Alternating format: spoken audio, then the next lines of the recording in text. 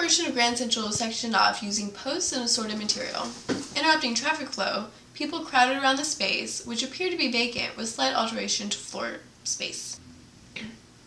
Neo-performative, site-specific, collaborative, public conceptually based installation and pseudo place with minimalistic derelict chic notes.